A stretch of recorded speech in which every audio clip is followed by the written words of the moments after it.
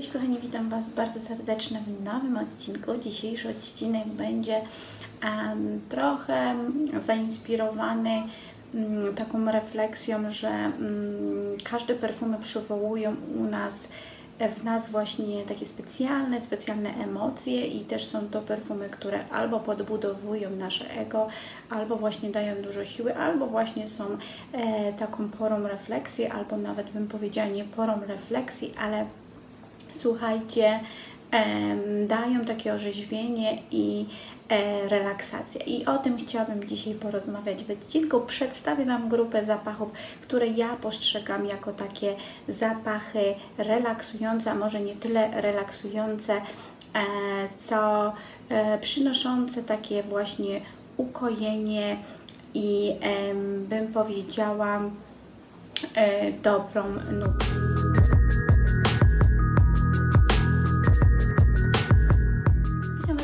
Kochani, e, tak jak zapowiedziałam w intro, dzisiejszy odcinek będzie taki o perfumach odstresowujących, czyli takich, które dają nam dobry vibe, dają nam dobre samopoczucie, ale są też ustawione tutaj troszeczkę w kierunku jakby mm, ukojenia naszych emocji i da, danie poczucia właśnie takiej e, świeżości i jednocześnie może nie refleksji, ale ukojenia.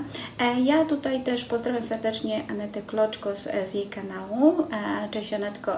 Ona dała taką serię zapachów e, bardzo fajną, pogrupowaną właśnie kolorami. Ja zastanawiałam się właśnie nad mm, pewnymi, słuchajcie, kolorami, które wzbudzają pewne emocje i tutaj poniekąd ten odcinek też się łączy, słuchajcie, z tymi kolorami, bo perfumy, które dają takie y, orzeźwienie, e, refleksje, ale też odstresowują nam i dają takie lepsze samopoczucie, bo taka jest też rola tutaj perfum. Słuchajcie, są to też perfumy, które mają konkretny kolor. E, mają taki konkretny kolor i tym kolorem, słuchajcie, właśnie dla mnie będzie niebieski, taki jasny niebieski, nie mylić z granatem, albo bardzo taki rozcieńczona zieleń, taka seledynowość właśnie wody. E, tutaj mm, Wszystkie, e, wszystkie te perfumy w tej grupie zapachowej, one zawsze łączą się właśnie z taką świeżością, e, z wodną jakąś ideą, takie właśnie akwatyczne, e, bardzo kojące, bardzo bym powiedziała takie świeże, cytrusowe. Ja bym powiedziała nawet zapachy chłodne, które mają tutaj już z grupy zapachowej właśnie ten, ta mm, seledynowość, ta, ta, ten błękit przynieść właśnie ukojenie naszym emocjom i jakby sprawić, że jesteśmy na innej planecie, w sensie, że lepiej po prostu się czujemy w danym otoczeniu. E, ja przyniosłam tutaj grupę takich zapachów, które one właśnie mnie się kojarzą z, tak, z taką grupą zapachów. Są to zapachy właśnie głównie błękitne albo takie turkusowo-zielone, chłodne, e, które mm, sprawiają, e, że mm, nasze emocje są gdzieś tam ukojone i mm, bym powiedziała, takie bardziej refleksyjne mm, i są na pewno to zapachy trochę ziemiste, chłodne i tak jak wcześniej powiedziałam, bardzo, bardzo rześkie. Chociaż powiem Wam, że w tych grupach kolorystycznych, zapachowych można się też pomylić, można przecież spotkać zapachy, które są takie bardzo wybujałe i niekoniecznie działają na nas tak odświeżająco i bym powiedziała relaksujące. Koniecznie zostańcie ze mną, to takie rozbudowane intro, a za chwilę przedstawię Wam te zapachy. Właśnie takim tryskającym energią, ale refleksyjnością i dającym właśnie zawsze super samopoczucie, ale właśnie też takim zapachem, który jest na tyle chłodny, tyle kojący, mm, że sprawia, że jest takim uspokajającym też zapachem, ale przewrotnie też dynamicznym jest Sky Blossom, bo te zapachy są pełne takich kontrastów, bym powiedziała. Tutaj, słuchajcie, Sky Blossom przedstawiam niejednokrotnie, on mi strasznie przypomina jeden zapach, który kiedyś bardzo dawno używam i nie jest to Dolce Gabbana, słuchajcie, Light Blue. W tym zapachu, ja już sobie tak szybko sprawdzę dla osób, które lubią e, wiedzieć, z czym mają do czynienia, jest tu bergamotka, taka właśnie słodka pomarańcz, nie pomarańcz, a przepraszam, limonka i jest to taka esencja świeżości właśnie z frezją, która tutaj daje taki piękny woal i biały białe piżmo. E, dokładniej ten, słuchajcie, zapach był wypuszczony w 2018, czyli wcale nie tak dawno i jest nazwany Sky Blossom. Jest to zapach Michaela, Michaela Korsa. Słuchajcie, jest tu też mango, ja wyczuwam to mango. Słuchajcie, on wydaje się takim zapachem właśnie dającym poczucie czystości, klarowności, ale też takiej świeżości. Słuchajcie, jak jest właśnie świeże pranie, piękne niebo, e, słoneczna pogoda i w tym momencie gdzieś tam woda w pobliżu, to właśnie ja mam wrażenie, e, pryskając ten zapach, jeśli dzisiaj nie pryskam jeszcze tak konkretnie, więc sobie tutaj mm, ten zapach rozpryskam, e, że on właśnie daje coś e, takiego niebanalnego. Wydaje się, że na pozór, że te zapachy właśnie takie niebieskie, bo on jest taki błękitno-niebieski, ale też odbija się jakby tutaj słońce, widzicie, to, to mm, ten, ten dół perfum właśnie jest taki właśnie złocisty. Ale są to zapachy właśnie moim zdaniem takie bardzo chłodne, przynoszące nam takie skojarzenie właśnie z wodą.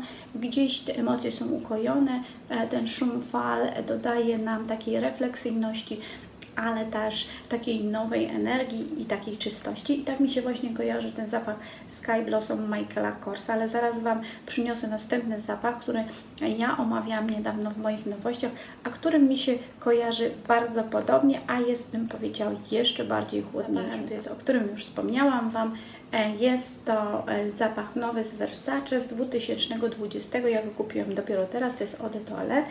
Słuchajcie, jest to zapach, sobie też go psiknę, E, bardzo chłodny, bardzo cytrusowy i mm, bym powiedziała taki rześki. E, jest tu, słuchajcie, guława, frezja, e, nuty takie jak piszmo i cedar, a także jaśminowa nuta, której ja nie czuję, ale na pewno czuję te top nuty tutaj lemonki i różowego pieprzu. To jest, słuchajcie, zapach, mm, taka gra gra świeżości. E, bym powiedziała, że jest to taka gra nie tylko młodości, świeżości, takiej e, finezyjności, ale bardzo czystej, bardzo refleksyjnej i bardzo chłodnej.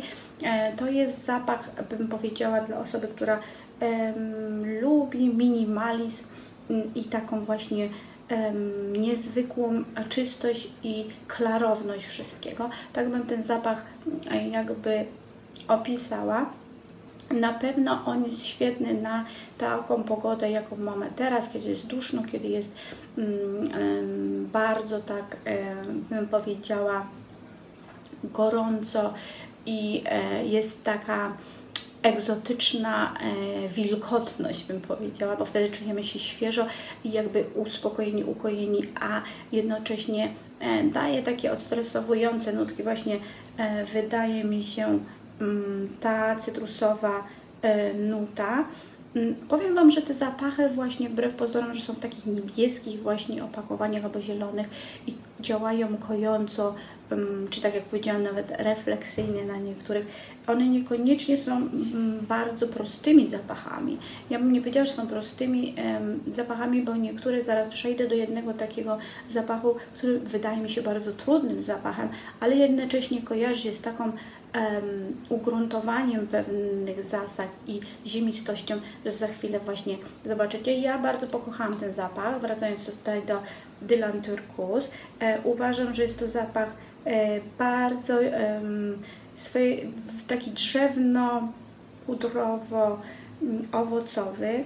E, bardzo przypomina mi trochę Dolce Gabbana, ale jest troszeczkę tak jak się jest z nim troszeczkę jakby przespałam i w sensie tutaj go kilka razy użyłam, że on jest jednak bardziej cytrusowy i troszeczkę odchodzi od tej, tej, tej nuty tutaj Dolce Gabbana Light. Przejdziemy do zapachu, który ja uważam, że jest bardzo, bardzo złożonym zapachem, bardzo, bardzo trudnym do oszacowania dla mnie, a więc Gucci Memoir, Memoir, chyba tak się czyta, Memoir, poprawcie mnie, jeśli nie wiem, ale wiąże się to właśnie z takimi, takimi jakby wspomnieniami. Jest to zapach, e, który, za którym stoi Alberto Morilla z 2019 roku. Jest tutaj rumianek, taki gorzki miktał, e, jest tu piszmo, indiański jaśmin, e, jest nuta sandalwood, czyli san, drzewa sandałowego i wanilii, tej wanilii kompletnie nie czuję. Słuchajcie, to jest jeden zapach, który ja go spryskam na chusteczkę tutaj, a ja na siebie pierwszy raz. I słuchajcie, pierwszy zapach, on daje właśnie chłodność, refleksję, ukojenie. No kojarzy się z, z, z wspomnieniami, więc musi, ale on słuchajcie, jest niebagatelnie ziemisty. Jest to taki ziemisty zapach.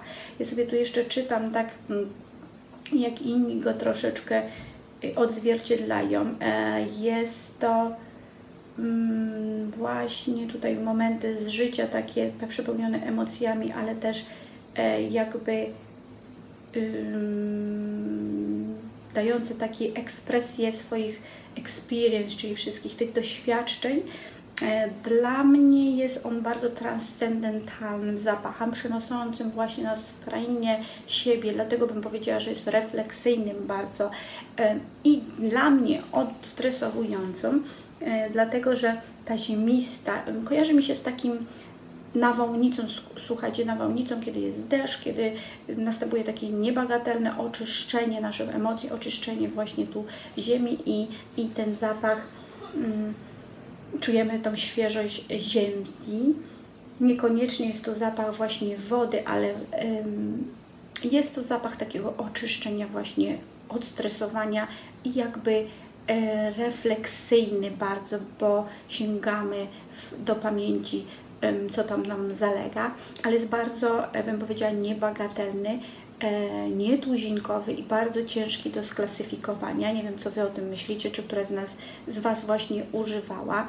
E, ja mam do niego specjalny sentyment, ale nie używam go, słuchajcie, zawsze, bo uważam, że to jest mm, zapach nie na każdy dzień i wbrew pozorom właśnie takie te turkusowe niebieskie, wydaje nam się, że one są takie flirciarskie, takie playful, właśnie możemy używać codziennie, one dają nam taki fajny kop, ale ten zapach nie należy do takich, jest trudnym, złożonym zapachem i nie dla wszystkich. Kochany zapach, słuchajcie, o, to jest piękność, zielona, piękna, trawiasta, taka odsłona, słuchajcie, oczywiście nosem jest Jacques Paul z 2009 roku i jest to lemonka z Amalfi, jest bergamotka, oczywiście taneroli, magnolia, jest jaśmin, irys i słuchajcie, to jest zapach, to jest klasa, to jest klasyka, on na mnie działa zawsze bardzo inspirująco. Kojarzy mi się właśnie ze świeżo ściętą trawą. Jesteśmy gdzieś nad wodą albo właśnie jest jakiś taki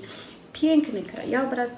Słuchajcie, siedzimy sobie na tej trawie i jesteśmy tak zrelaksowane, tak się upajamy każdą tutaj emocją i każdym jakby fragmentem życia i tą daną chwilą, że jest coś niesamowitego. Jest to przy tym bardzo klasyczny, przepiękny zapach, który nie sposób przeoczyć. Ja bym powiedziała, że on jest bardzo klasyczny, dlatego też nie znajdzie uznania u każdego, ale jest to zapach, słuchajcie, który no jest, nie, no muszę na siebie psiknąć, słuchajcie który daje niesamowicie pozytywny vibe, pozytywną emocję właśnie. Jest takim, jakbym powiedziała, zapach tutaj Gucci, który przed chwilą omawiałam, jest bardzo trudnym, kontrowersyjnym i może wzbudzać też tę refleksyjność taką troszkę negatywną, to tu e, ten zapach jest mega odstresowujący, mówię, kojarzy nam się znaczy takim powerem, takim życiem właśnie, tu e, kwiaty gdzieś pięknie tutaj kwitną, ta trawa świeżo skoszona, ten przepiękny krajobraz, więc to jest taki zapach właśnie mega odstresowujący, czujemy się dobrze w swoim ciele, czujemy się dobrze z otoczeniem, daje nam pozytywny vibe i jest to dla osoby właśnie takiej, bym powiedziała, że to jest dla klasycznej osoby, która lubi też minimalizm, ale lubi coś specjalnego. I taki chyba się ze mną zgodzicie, taki jest właśnie e, krystal Over Shine. być, bym powiedziała nawet tuzinkowe albo nietuzinkowe zapachy, jak to chcę. Ja je mam do nich sentyment Osmanthus Blossom e, od Colonii z John Malone i następna przepiękna tutaj perłowa odsłona. One są takie, zobaczcie, trochę niby turkusowe, a niby białe, ale one są turkusowe, uwierzcie mi, znaczy turkusowe, takie lekko zielone i Frangipani Flower, przepiękne, świeże, niesamowite.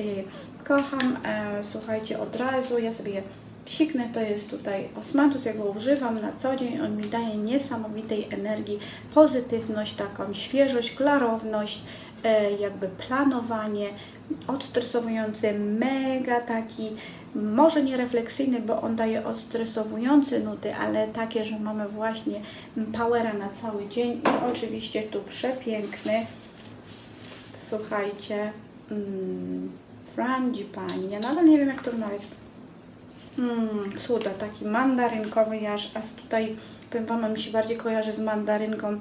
Ja nie wiem jak wygląda fran, ten kwiat, czyli e, frangipani, ale powiem Wam, że on bardzo mandarynkowo i muszę się mu przyjrzeć, bo mm, on jest naprawdę bardzo pięknym pięknie pachnie właśnie w tych zestawieniach perfum. E, czyli słuchajcie, wracając jeszcze do osmantusa, e, tak jak powiedziałam, to jest też zielony, cytrusowy, e, piękny zapach, właśnie troszkę drzewny, troszkę wykończony drzewem kaszmirowym, ale jest tam ta brzoskwinka, która daje taką... Mm, e, właśnie fajny, refleksyjny, może nie refleksyjny, ale taką właśnie wisienką na torcie jest. E, I daje niesamowitą świeżość. Natomiast e, frangipani, e, ja sobie tutaj szukam szybko, jeżeli w ogóle go sobie naszykowałam. Chyba sobie nie naszykowałam, ale już pozwolicie, że tak na szybko zobaczę, jak to wygląda ten kwiat. A to taki nie, Oj, jaki piękny, słuchajcie, tak to wygląda ta kwiat. Jeżeli nie widzicie, ja Wam tu wstawię właśnie w magicznym rogu, czyli no nie dziwiota, on pochodzi właśnie z Wysp Karaibskich i z centralnej Ameryki, Brazylii i Florydy.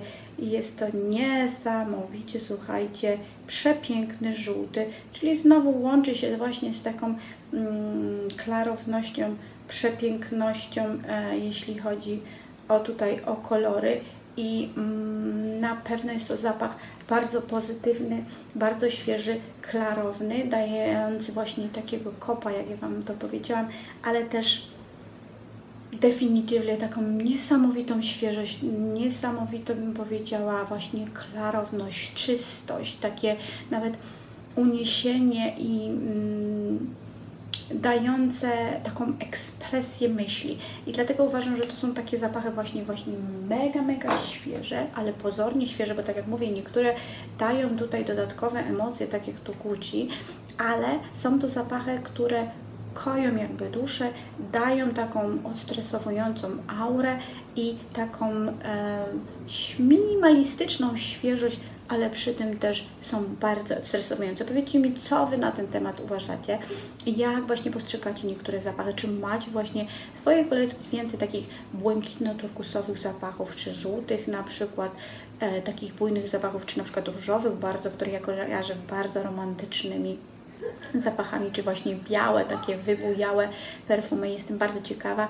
E, jestem też bardzo ciekawa, co powiecie na te moje tutaj propozycje i czy Wam podoba się właśnie takie zestawienie. Na dzisiaj to wszystko. Zapraszam Was gorąco do subskrypcji, kochani. Czekam na Was, czekam tutaj, żebyście byli ze mną. E, czekam na Wasze komentarze. Bardzo się z nich cieszę.